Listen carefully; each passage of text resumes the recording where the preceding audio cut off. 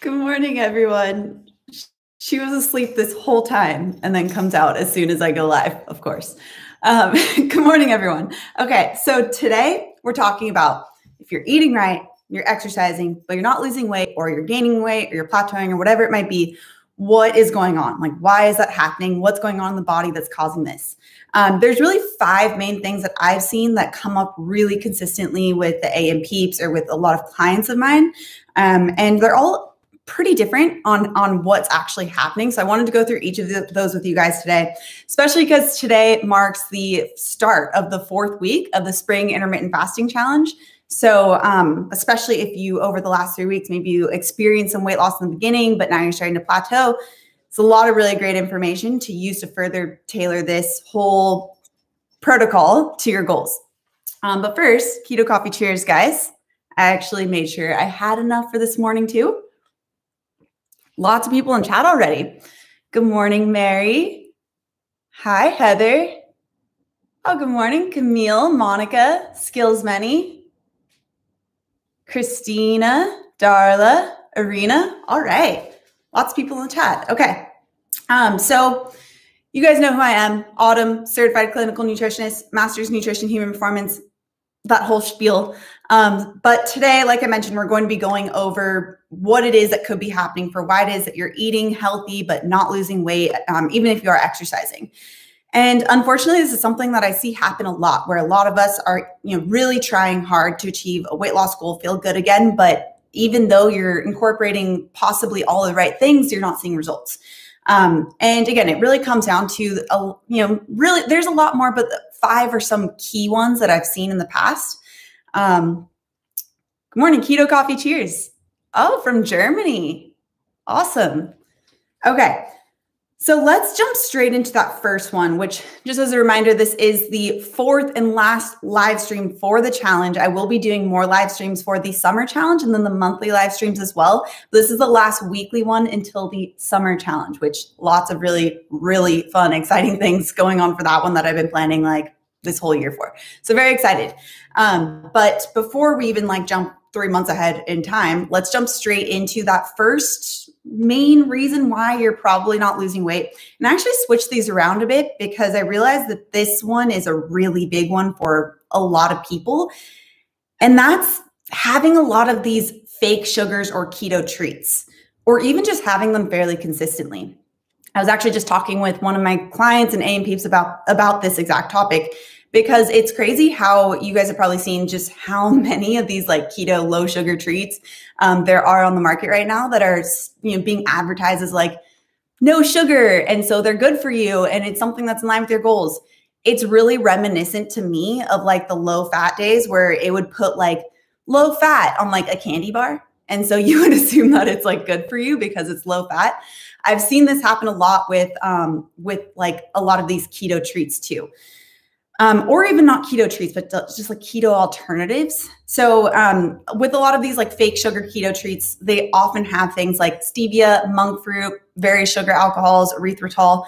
And even though a lot of scientific literature is coming with mixed results on how it actually affects the body, um, some say that it has an insulin response, whereas others don't. And if you guys have been watching my channel for a while, you know, insulin is the storing hormone. So anything that has that insulin response can turn off fat burning. But from what I've seen just with my clients with the AMPs, as soon as they take a lot of those sneaky keto treat items or, or zero sugar items out, they see nearly instantly about five to 10 pounds of weight loss.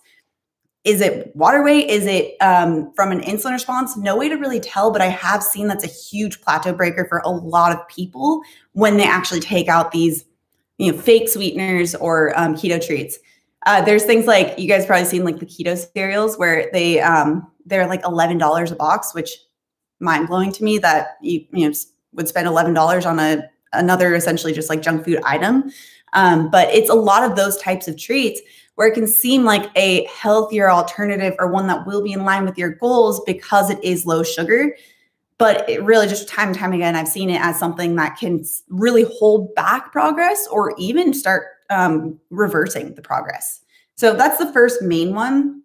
Let's see, was there anything else I want to say about? That was the main thing. I actually have a video coming out um, next week, I think, with Katie's story, where she talks about her experience of removing all of those like keto treats and keto sweeteners and how she saw a huge change. And really, this is something I see with all my clients as well. Um, not to say you can't have them on the occasion, not to say that it's not better than the sugar alternative, like real sugar alternative, but it's still something that's a treat and can still hold back progress because of the possibility of an insulin response. so Denise says, funny, I'm listening to this while shopping at Costco. Large amounts of keto labels here. Yeah. Um, so if you actually look up on like uh, Google Analytics or, or one of those, I forget what it is.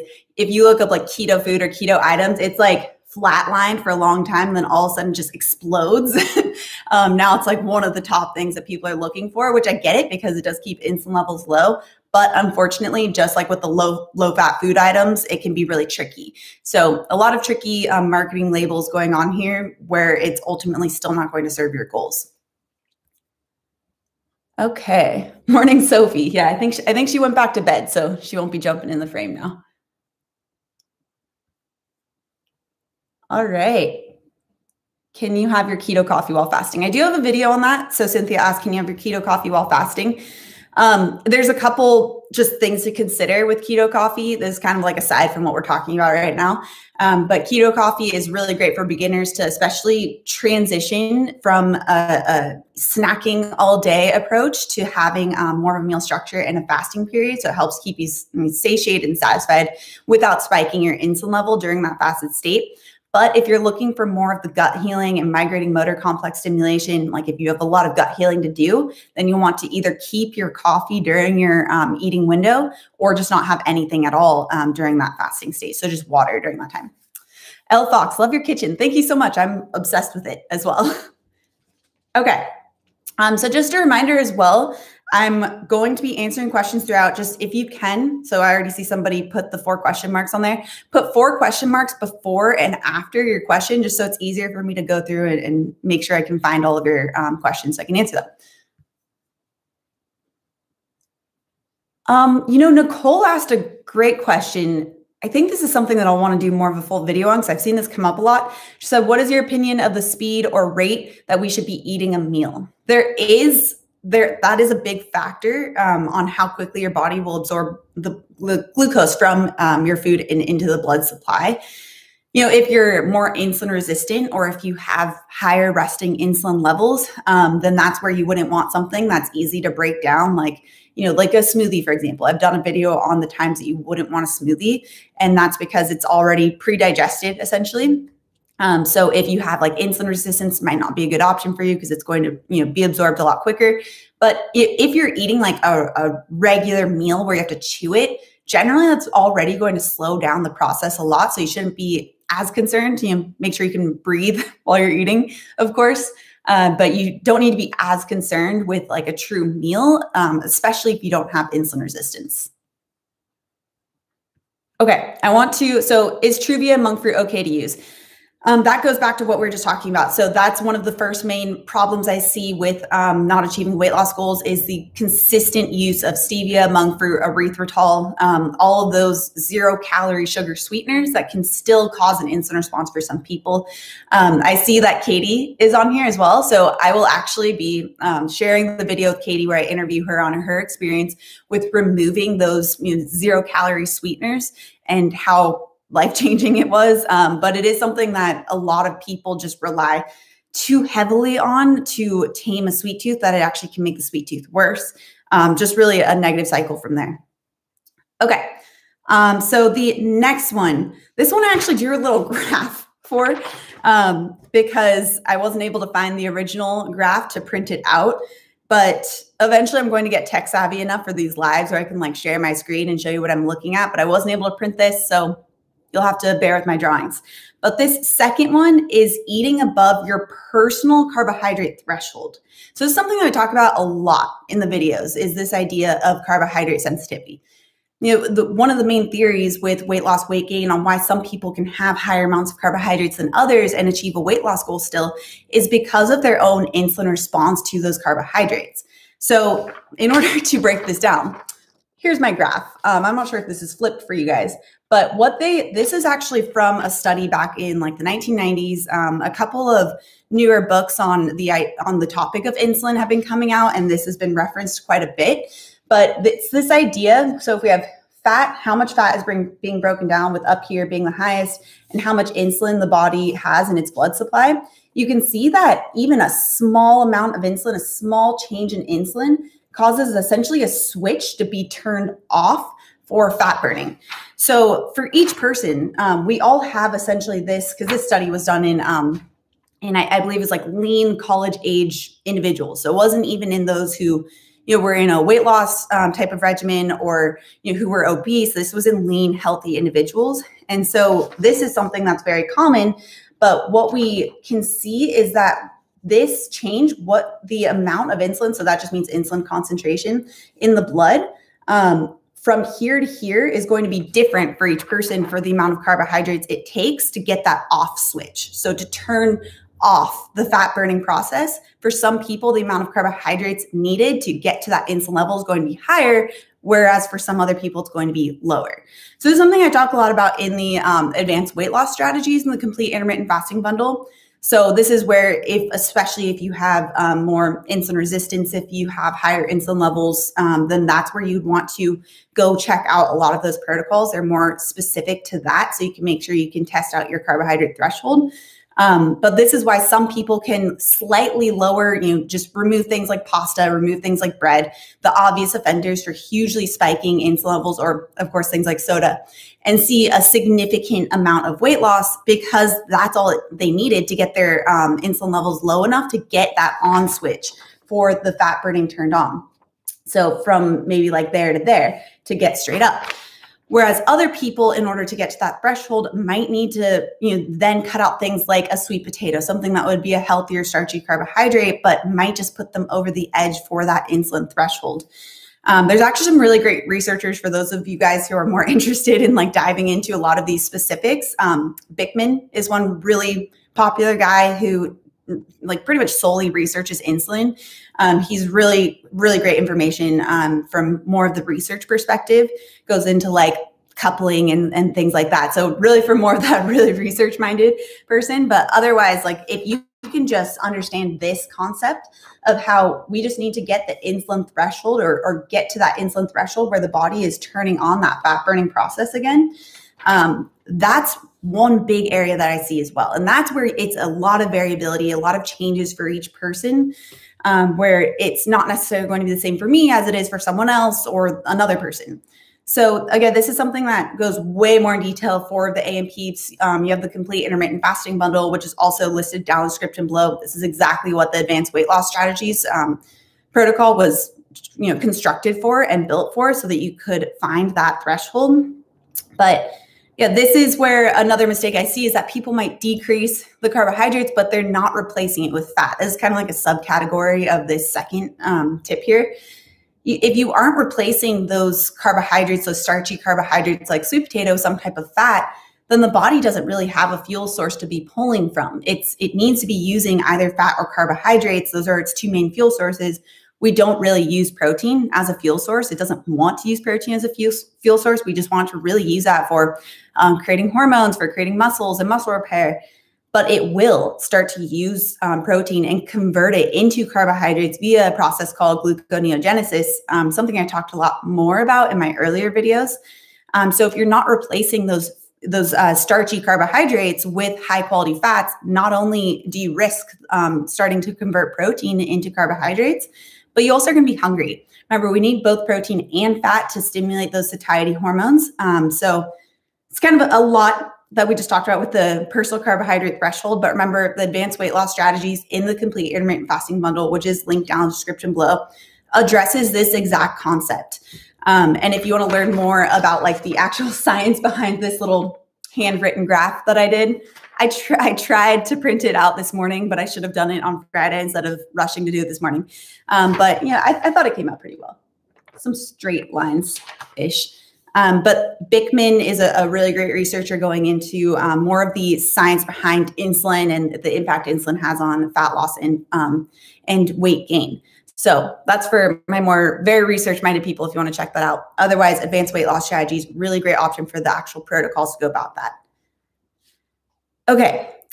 I just like went on such a rant that I need another sip of coffee.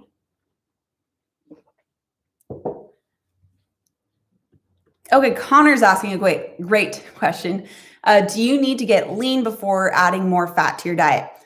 No, absolutely not. In fact, um, that kind of goes back to exactly what I was just saying is that you need to be eating fat in order for your body to be burning fat. Otherwise, you run out, run the risk of starting to then convert the proteins into carbohydrates. Um, so you still want to be making sure that you're eating fat to get the satiety and get the body actually utilizing fat as fuel. Um, that is another good question. So that second bump right here, um, as you can see, it's not really that high of a bump when it comes to how much fat is being used. It's I'm not quite sure on the mechanism behind this. I don't think they were quite sure on what was going on with this second bump. I just wanted to be more true to what the graph was representing the big takeaway definitely is this huge decrease. So there is a, a slight bump here, um, but a huge decrease from from that one small um, amount of insulin. Okay, I'm going to try and answer another question real quick.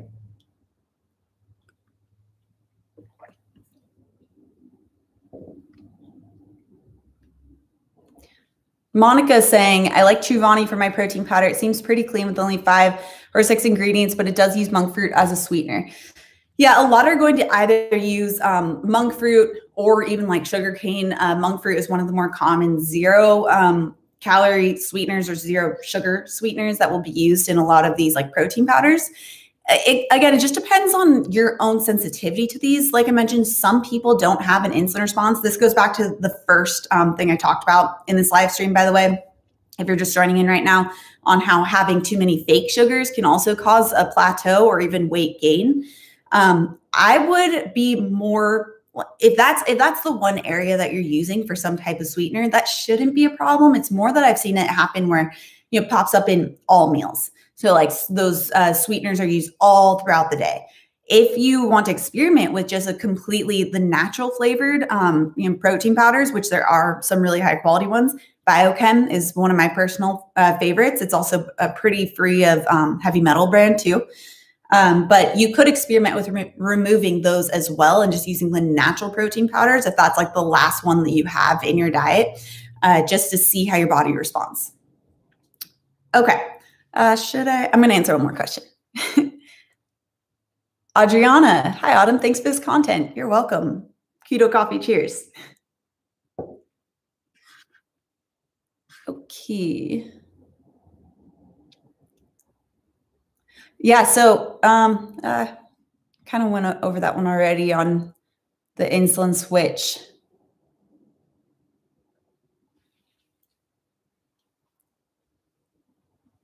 Yeah. Oh, yeah. Katie just weighed in on this. Yes, I definitely had a swap for an unsweetened protein for 30 days, and I was shocked at the change. So, so Katie is the one that I interviewed for the channel. Um, coming out. What's today? I think it's coming out next week. So look out for that one for just to see how it actually affects um, a person, like a real live person, not just a study, um, with the removal of a lot of these non-nutritive or zero calorie sweeteners. how do I spell the protein that I like? It's literally like biochemistry. So, but biochem. Um, so B I O C H E M. And it's, they have like a couple different options. I'd recommend going for the whey, the organic grass fed whey option they have, the natural option that is the one that was actually tested to be very, very, very, very low, if not free of heavy metals. I can't vouch for their other products because the other products I haven't seen a test for, but at least their whey one has.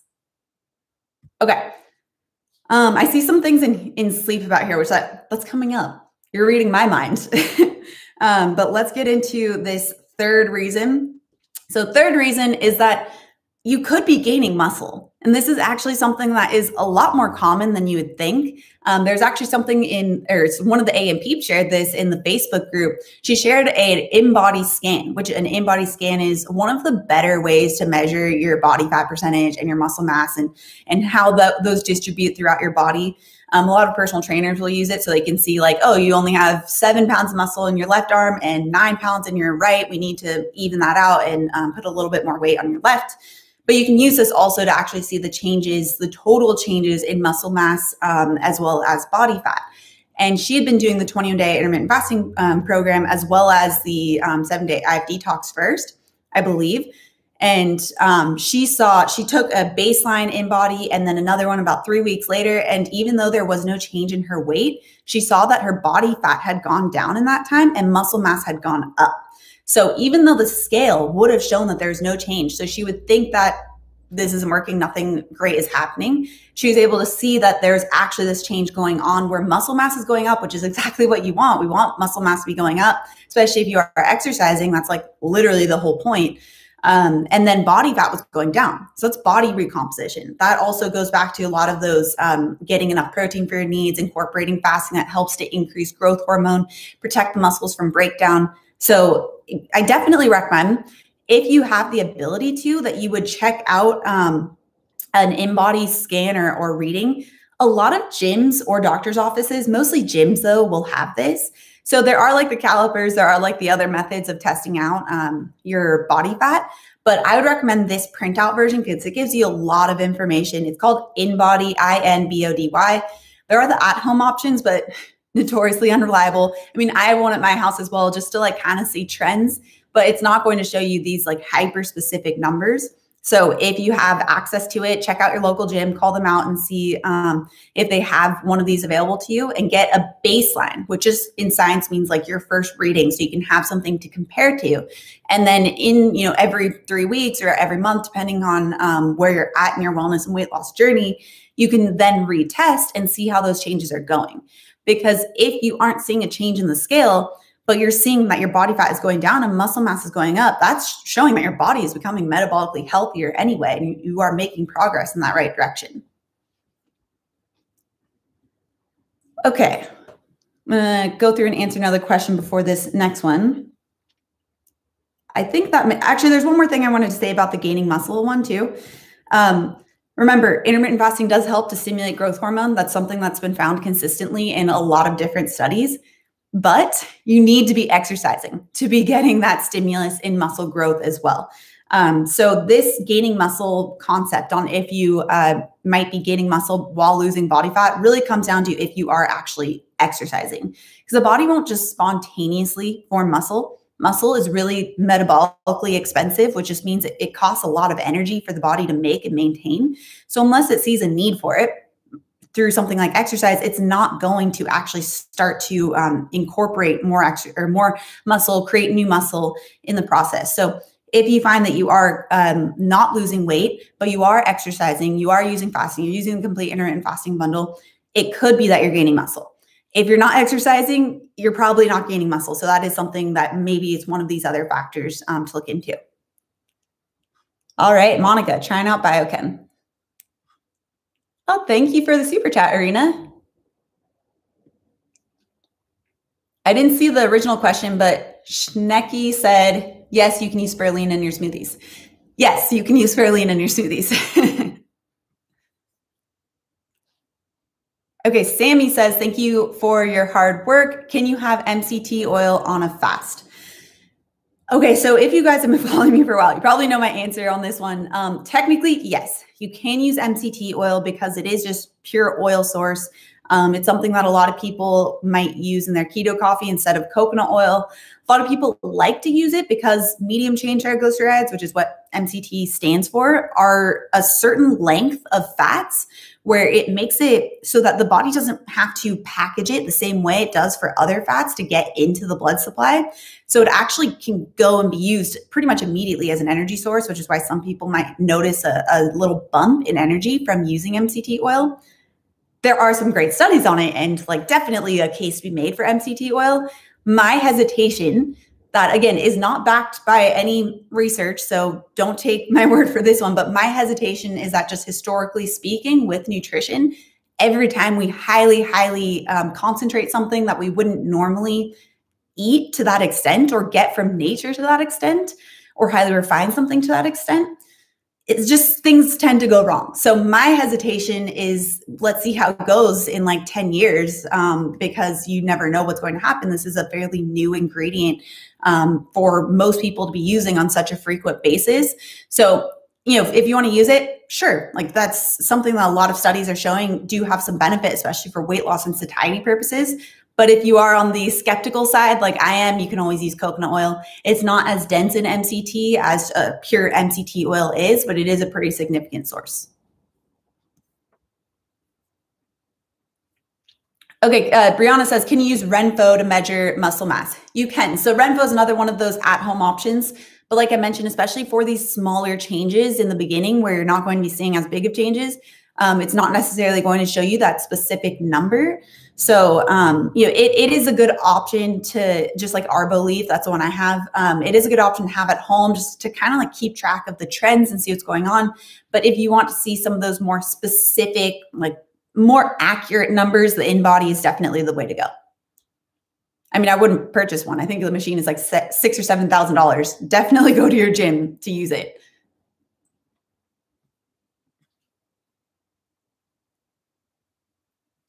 Okay, let me see. Um, another question on why some people eat lots of carbs and still do not put on any weight. This goes back to what I was saying on the insulin threshold. So I'd recommend just rewinding to that point um, because I go very much in detail on that. Which, if anyone's just joining in right now, we're going over um, why someone might be eating healthy, exercising, and not losing weight. So we've already gone over the fact that you might be having too many fake sugars, you know, a lot of like stevia or sugar alcohols. Um, that you might be eating beyond your personal carbohydrate threshold, which is where you got to see my beautiful hand drawn graph on here. Um, and then also that you could be gaining muscle. So let's go into the fourth one, which while I just take a sip of this, give me a thumbs up if you like this information so far. Okay, this fourth one is also surprisingly common too. Um, so it's just not enough time. so this really comes back to insulin resistance as a big one. Like if you have a history of insulin resistance, you know, where you have those higher resting insulin levels. Um, I will get to that question in just one second. DC, thank you for the super chat. I will get to that question in just one second. So not enough time to actually allow the insulin levels to dip down. This is really common if you have insulin resistance, if the resting insulin level is really high from the constant secretion of insulin over years and years worth of time. Uh, the insulin level is now very high. Um, so it can take time for insulin levels to you know bring itself back down to that normal level, bring itself back down to right here where it's then able to get in that fat burning area. Um, so, especially if you have insulin resistance, it's not necessarily like all of a sudden that switch is going to be turned on as soon as you incorporate fasting. For if you don't have insulin resistance, that's likely what's going to happen where you see results a lot faster. But if you have a history of insulin resistance, that's where it can take a lot, quite a bit of time, you know, two, three, four weeks to actually start seeing progress because the insulin level, maybe it's over here fasting and it needs to make its way back over here until you start to see it go up. So this is something I've seen happen a lot um, with, uh, like I mentioned, people who have a history of insulin resistance or maybe didn't know they had a history of insulin resistance, but then went and got it tested and found out that they did. Uh, and this, the perfect hallmark of this is if you see that you had, like, let's say, a, um, like four weeks where you weren't losing weight, and then all of a sudden you lose 10 pounds in like a week. That is very common if this is the issue where you are like over here on the insulin resistance you know uh, graph that you need to allow for your body to bring itself back down before it can go up. So this is where unfortunately just having patience with your body allowing it to um, naturally start to get those insulin levels lower while working on the eating the types of foods and, and incorporating the types of practices that support that in the process. Okay i saw the super chat back here. Are pre-workouts okay to use when fasting?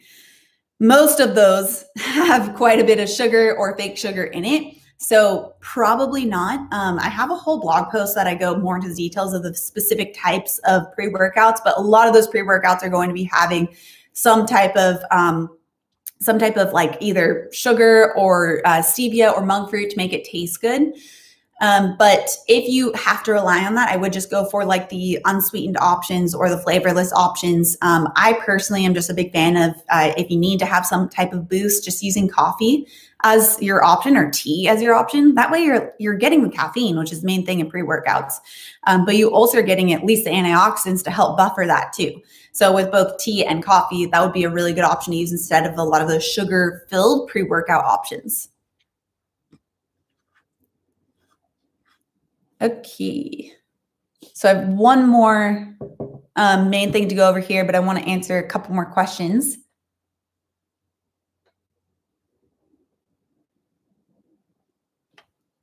Um, can you drink the ACV sipper every day?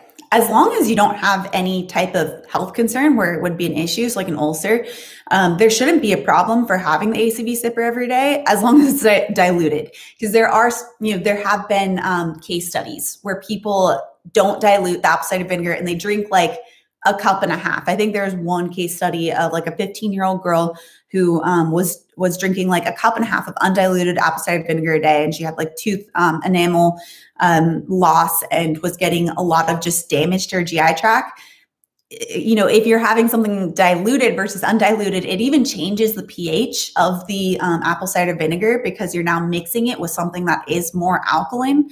Um, so it's a lot different of having one to two tablespoons worth of apple cider vinegar diluted in water versus having massive amounts of undiluted apple cider vinegar. So make sure it's uh, diluted and make sure that you're um, not having a cup and a half's worth of apple cider vinegar a day.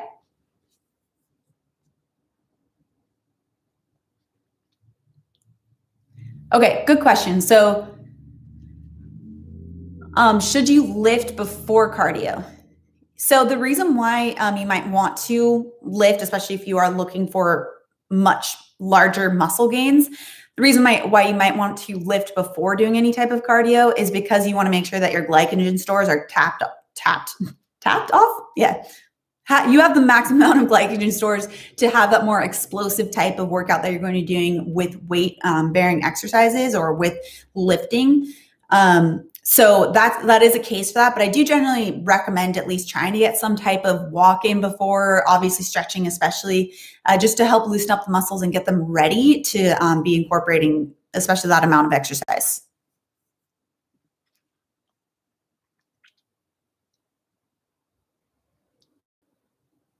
Elizabeth. Hello from, oh, from Georgia, the country. Awesome.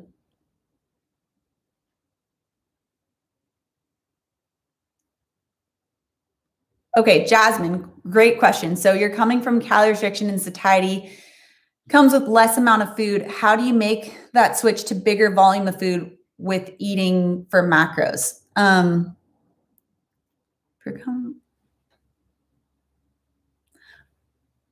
Okay, um, this is another one. I mentioned this the last video. This really to, to give this topic justice. I want to do a, a, whole video on this. I want to bring on a couple of those researchers I mentioned because you know my graph can only do so much.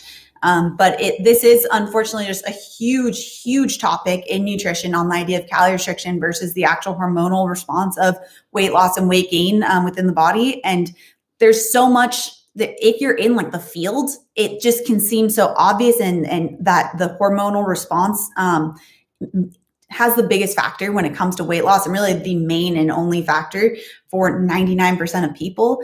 But it can be hard to translate at times, unfortunately, to a lot of people who aren't just immersed in this field. So I want to make sure I can do this justice so that I actually explain this very well um, so that you guys can understand this. So I will be doing a video in the future on the idea of like calorie restriction versus the hormonal response of weight loss.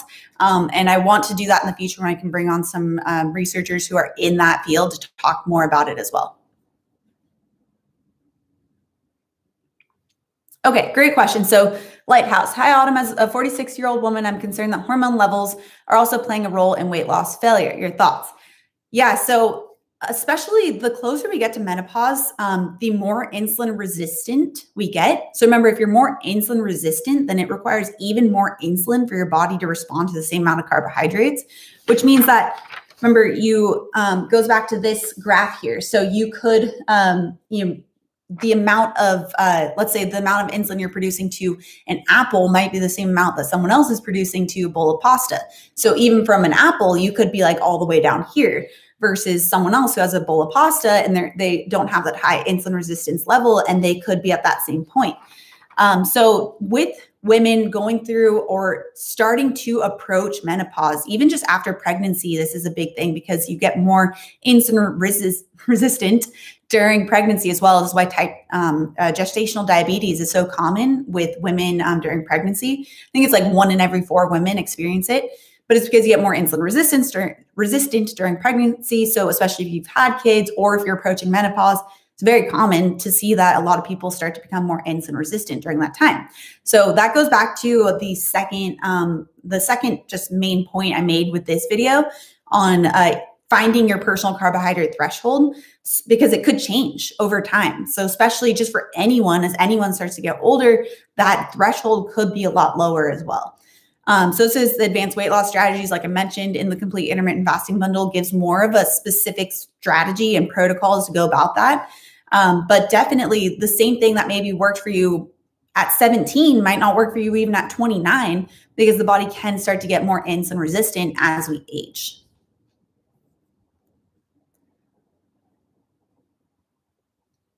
Okay, great question. Brianna says, What are your thoughts on plant protein versus whey or whey isolate?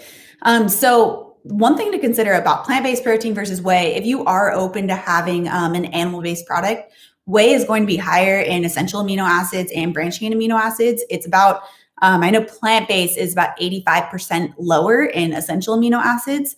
Um, just it, there's this whole field of sports nutrition really dives into the specifics on which one is going to be best for helping with muscle uh, synthesis or creating new muscle. Um, and definitely whey, uh, just dairy based proteins are some of the better ones. Um, so if you are going to be using that, just make sure that you're using a high quality option. There are still some great plant based options. So if you are solely plant based, you can still absolutely use plant based. Um, but if you are looking for maximum essential amino acids, maximum uh, branched chain amino acids, you want to go for more of the animal based options that will be pretty significantly higher. Uh, one other thing to note between the two is that unfortunately, a lot of the plant based protein powders are very high in heavy metals.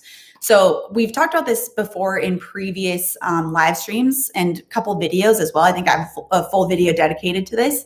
Uh, but just because the soil um, where a lot of these different protein powders are pulled from tend to be in very polluted areas where it gets a lot of heavy metal exposure.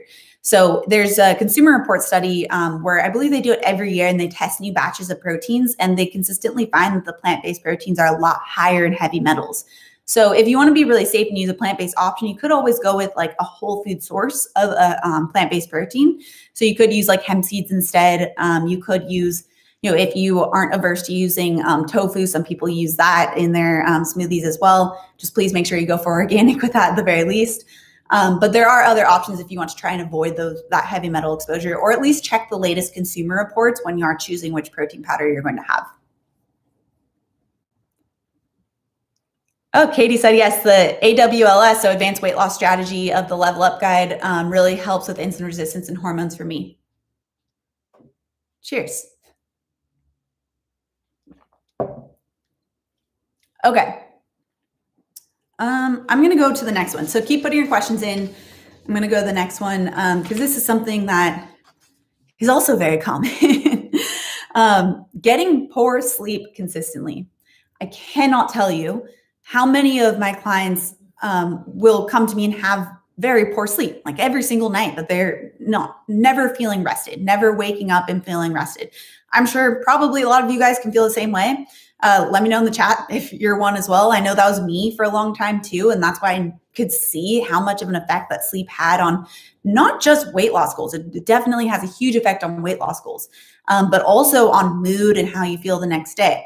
For myself personally, I noticed a huge spike in my anxiety levels the next day when I got poor sleep. Even just one night poor sleep can have a huge spike in my anxiety levels. And it's likely because cortisol levels will go skyrocketing when you have poor sleep. It's really just because your body didn't get the rest that it needed. So it's trying to just bring that energy level up by producing cortisol to get your energy levels going for that day and make it through that day until you can get better sleep that night. So there's actually even been studies showing that just one night of poor sleep can negatively affect hormones by increasing um, the hunger hormone ghrelin, obviously increasing uh, cortisol levels as well. Believe I even saw that it can um, make you more insulin resistant the next day too. I'd have to double check that one, but certainly it increases ghrelin, certainly increases cortisol levels. Um, so uh, since you know increased hunger uh, especially with increased ghrelin, it can really increase sugar cravings as well. Plus, the higher cortisol level, higher stress levels, that also can increase sugar cravings and make it a lot harder to not give in to a lot of those um, insulin stimulating foods. So, if at the end of the day there's like ice cream in your sight, you got poor sleep, and maybe you, your day was moderately stressful, it's going to be really hard for you not to give in to that ice cream that's there that will then further spike insulin um, and even make it harder to achieve the weight loss goals. Um, so obviously getting high quality sleep is something really important i've done a lot of videos on i might do a live stream on this one in the future as well but some main strategies that you can do to help prioritize your sleep is prob the hardest one probably the absolutely hardest one for a lot of people is to not have any technology before bed and i mean like minimum 30 minutes but really an hour would be so much better if you could not watch tv not be on your phone you know not scroll before bed and I personally know I used to do this as well um, a few years back, probably like five years back, have my phone right next to me when I go to sleep and look at like Instagram right before bed. Um, so when you're looking at some type of light, some type of technology, it can signal to the brain that it's daytime and it doesn't need to produce melatonin, which you know, some people say like, oh, I need the um, TV to fall asleep. I understand that was me like all of high school. I would play Back to the Future one every single night before bed because I thought that helped me go to sleep but then I like feel so tired the next day. Um, and even though it might help you fall asleep, you know, seem like it's this white noise essentially, that light can inhibit the melatonin production and make it so that you either get poor quality sleep or you're waking up throughout the middle of the night multiple times. Um, so if you're in the habit of falling asleep to the TV, to your phone, um, to your laptop, whatever it might be, that's really the first main thing to address. And that in itself can make a huge difference. Um, some other ones, so very common ones, limiting your caffeine intake. Not one that we want to hear, especially for those who love keto coffee like I do. Like I could easily sip on keto coffee all day and be like a huge happy camper.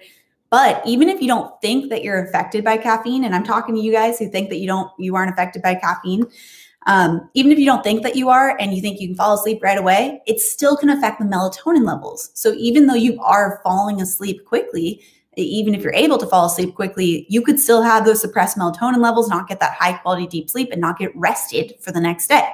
So, challenge you guys try and not have any caffeine by, I'm gonna say 2 p.m., but really 12 p.m. would be the goal. So, you can really optimize for that sleep. I think the half life, if I remember correctly, so how long it takes for caffeine to exit the system, I believe the half life is six hours. I'm not positive on that. Um, but really, just the earlier that you can uh, keep your caffeine intake, the better, so that you're not disrupting your sleep later on.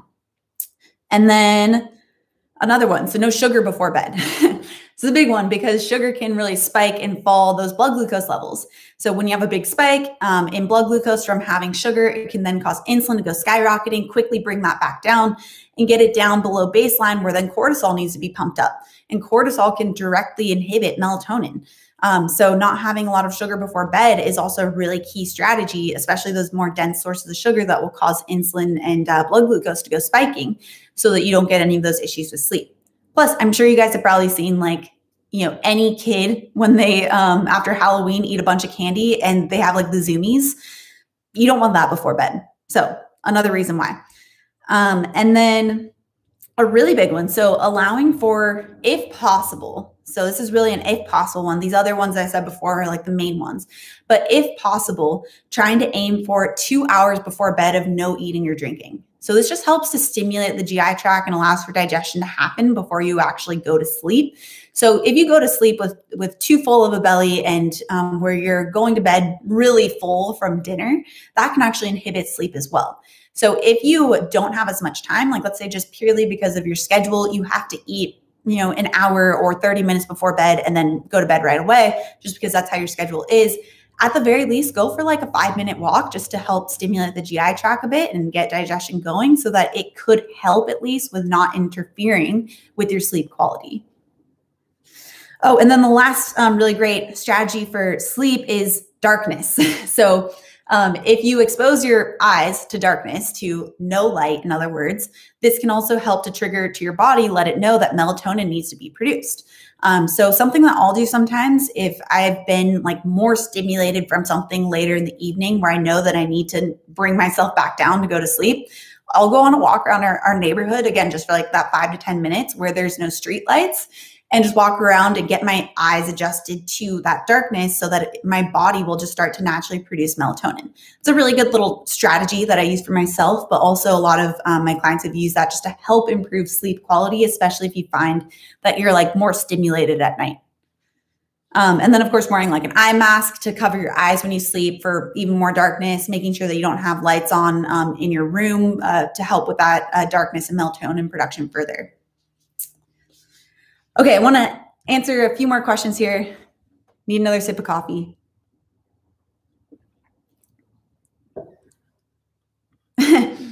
uh, the Golden Rue said, What are your favorite organ meats? I wish I could tell you that I liked them.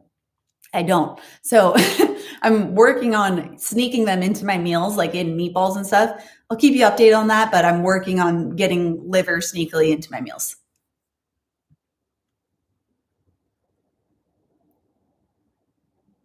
Um,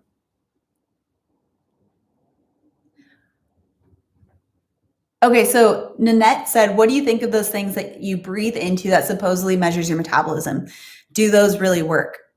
I mean, probably all they're really measuring is your ketone levels. I haven't looked too much into them, but there is one that you guys have probably seen a lot of ads for lately. Uh, but it looks to me like it might just be measuring your ketone levels to see if you're in fat burning or not. Um, but at that point, like I don't know the cost of that one, but if you really wanted to get into the details of seeing if you are utilizing um, creating ketones or not, which is the byproduct of burning fat as fuel, just go for the blood meters. So Keto Mojo is a really good one. So you could always just check that one out. Um, but you don't even really need that. You can use it if you want to, just to see where you're at. And if you're like really data driven, it could be helpful, um, but it's not necessary. Okay, great, great question. So Carol said, I sometimes listen to talk radio or podcast when I go to bed. Is that bad? Um, so since we have to think about like what's actually causing um, the the melatonin to be decreased, and that's the light. Usually, light is the biggest one. Um, there is some research that EMFs that are emitted from phones can actually be absorbed in the body the same way as light and also cause those issues. So if you're someone who falls asleep with your phone like right under your pillow, might want to experiment with putting it across the room. Um, but if you're listening to like a true radio, like off of a radio, probably not a problem. Um, or if you're listening to like a podcast or the radio from your phone, but it's across the room and you're not looking at your phone in the process, also shouldn't be a problem. We use a, a white noisemaker, like one of those ones you you can get apps for this, uh, probably for free. Um, but we use one that's just right next to our bed, and it doesn't uh, require us to be looking at a phone or something to turn it on.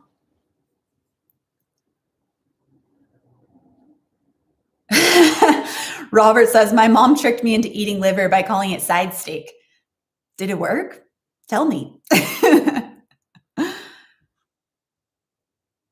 um, if you are consuming, okay, so Rami said, if you are consuming higher quantities of protein and medium amounts of fats, can that still put you into ketosis? It depends on what you consider high and medium. So you know, high could be for some people 20% of your intake from um, protein. That still should likely be fine. Again, it can depend also on each person's insulin resistance. I mentioned this earlier, but Bikman, that one researcher, um, has done some really interesting research in the past of protein levels related to like your insulin level. So if you don't have like a really high resting insulin level or higher insulin at that time, then that protein um, shouldn't inhibit ketosis. Whereas if you do have a lower if you have higher amounts of insulin, then that protein could inhibit ketosis just regardless. Um, so Bikman is really a great researcher if you want to look more into that research. Um, but original question, it depends on how much protein you consider to be high. I mean, I wouldn't consider high, like truly high intakes of protein, which is like, you know, above 30% of your intake, um, I wouldn't even consider that something that you'd want to do because naturally those meats wouldn't have 30% of your intake coming from um, protein. A, a, lot of fat is actually naturally in protein, which we have to consider. There's a reason for that. Um, so you still want to be eating enough fat to balance out that protein. If not, it could lead to something called rabbit starvation, which can cause diarrhea, a lot of unpleasantness. So you don't want to have too much protein in relation to fat. If you're eating like regular protein sources and not just a ton of protein powder where it's void of any fat anyway, then you shouldn't ever probably get to issues with that level. Um, especially, you know, if you already have kidney disease and you definitely want a much lower intake of protein. Um, but but uh, totally lost my train of thought there. But anyway, so for that protein, you just want to make sure that you're not having like just isolated forms of protein that will get protein levels way too high and counterbalance all of the fat that you should be having along with that protein to prevent something called rabbit starvation.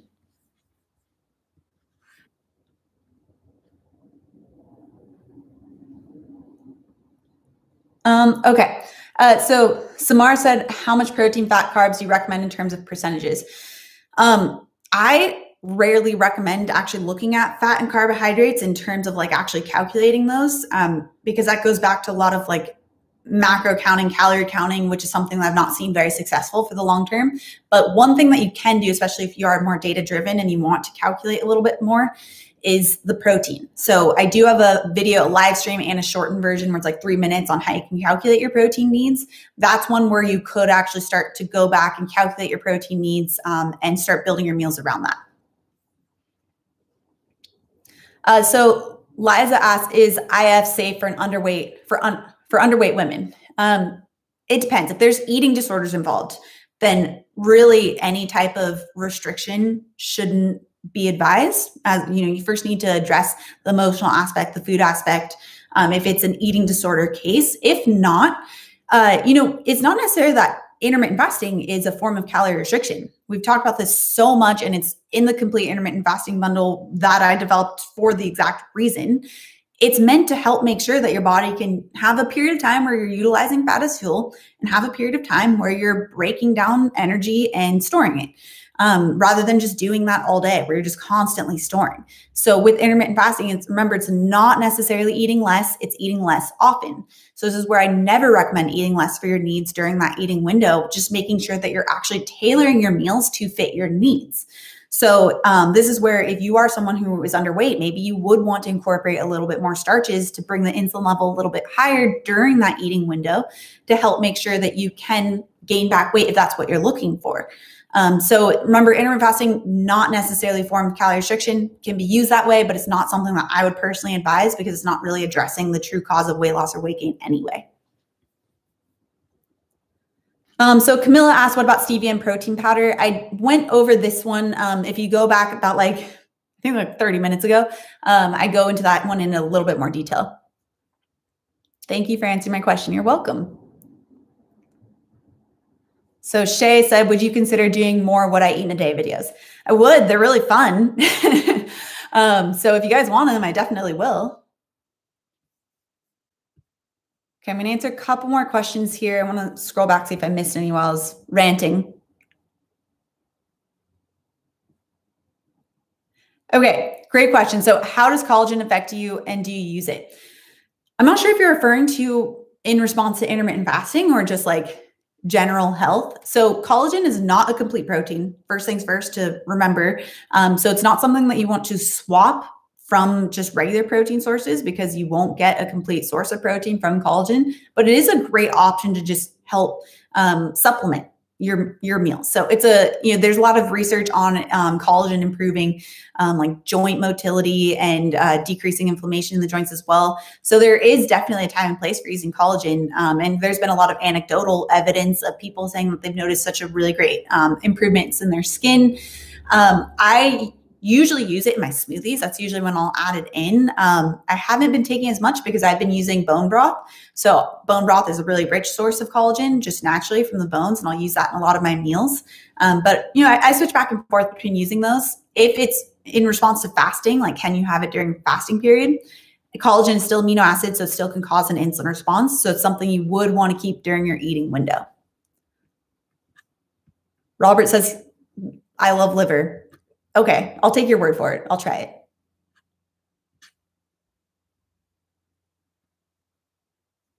Mm -mm -mm. Okay, Tiffany, thoughts on melatonin supplements? I don't usually recommend them. um, it, you know, there can also be time and place for melatonin supplements, especially if you're traveling to help quickly get you acclimated. There's like a whole protocol you can use melatonin and getting acclimated to the local environment. Um, but melatonin is something that we naturally produce. So whenever there's something we naturally produce, I try not to incorporate it in because you always run the risk of your body not producing it as much or not giving your body the amount that it needs because it is something that our body will naturally give us the amounts we need. So I usually I don't take it. Um, a lot of my clients don't take it. It can be something that can be used properly, but you know it's hit or miss.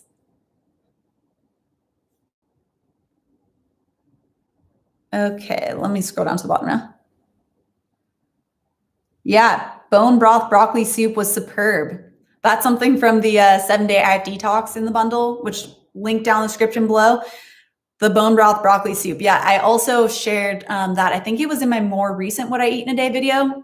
Really great classic one. A lot of kids love that. So if um, you have trouble getting like vegetables in your kids' diet, or protein, which also can be surprisingly hard to get that into. You can sneak some of those in with soups, especially with the bone or the uh, the broccoli soup. Amazing.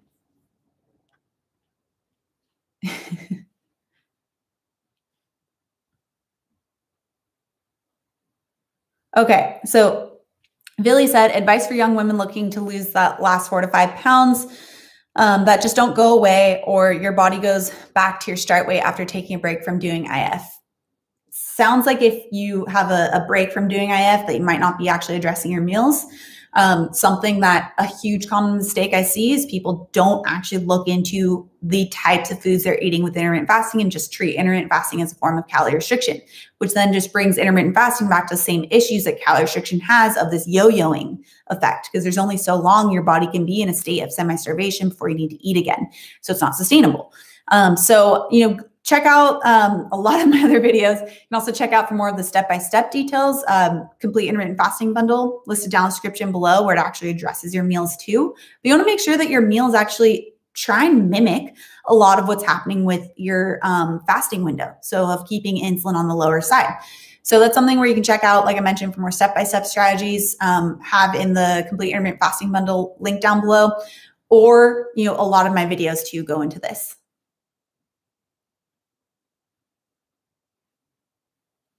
Tiffany, thank you for answering my question. You're welcome. The golden rule broccoli does not like me. That's okay. You don't have to eat broccoli, but if broccoli works for you, broccoli soup is great. So Anna said thoughts on grass-fed whey, protein powder versus collagen. Same issues that they're not really comparable because collagen isn't a complete protein. So if you're looking between one or the other, you at least need to use the um, the complete protein source, which would be the whey in this circumstance, and seeing collagen more as like a supplement, an add-on to get those added perks. Okay, I'm gonna answer like one or two more questions. Um, okay, so Nicola, who just joined in, welcome. Um, I come from an environment where I've been told to eat before and after a workout. If I work out during my fasted period, what then? Let me take a sip of coffee before this one. Okay. so, first of all, depends type of exercise you're doing. If it's high intensity interval training, you probably do want that during your eating window because that is something where you're going to be really running through your glycogen. So, you want to make sure it's fully tapped off.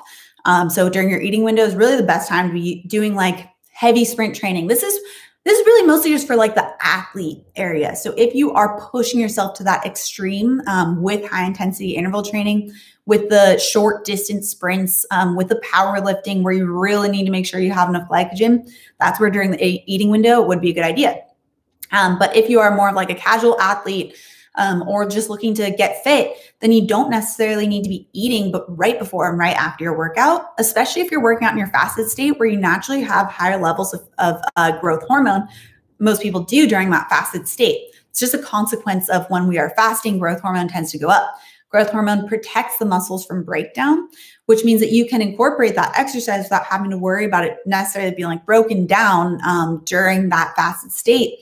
And then making sure that you're getting adequate amounts of protein uh, during that recovery period, during your eating window after your workout. So, of course, this will vary depending on each person, but those are like general guidelines high intensity interval training during the eating window, especially if you're an athlete. Um, but using more of the any other type of exercise, especially if you are interested in running or cardio, that's actually the best time to be doing it is during that um, when you're more fat adaptive during that fasting state because the body is using that really great stable energy source of fat from that increased lipolysis, that increased fat burning.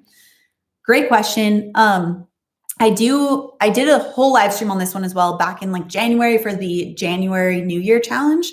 So if you look up, I think it's like intermittent fasting and exercise, what I titled it, and I go into so much detail on this, but it is a really interesting field. So, um, Nicola, great question, but definitely if that doesn't answer it in, in enough detail for you, check that out. Yeah. So David said, I always run better fasted, especially. So it's once you're at that fat adaptive state. So make sure that you are easing into the process, that you're not jumping straight into it. You're avoiding a lot of those fasting mistakes that we talk about on this channel and in the complete intermittent fasting bundle. Um, but it is something where it is a really great steady source of energy for when you are doing something that is at the like moderate, um, moderate to lower intensity anyway.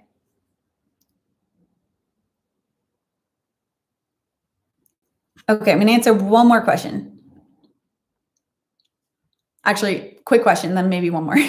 Uh, Brittany says, Are hemp seeds a complete protein source? They are, but you need a lot of hemp seeds. So it is a good way to help bump it up, um, but it's not necessarily the one where you want to only rely on it because it is um, fairly lower. It still is a complete protein, but it's fairly lower. And I forget the exact amount. I think you need like eight tablespoons, nine tablespoons or something to get one full meal's worth of protein. Oh, great. So Stasa says, I've taken your advice and increased my protein and fat during that time of the month and during stressful times to counter my cortisol and sweet tooth. It really works. Thank you. Cheers. Congratulations. That's awesome. So Shay said, thank you so much, Autumn. I've been following you for a year and using all of your recipes and I've lost 12 pounds. I feel like a new person. Um, every one of those, I every one of those pounds to you. Congratulations, Shay. That's amazing.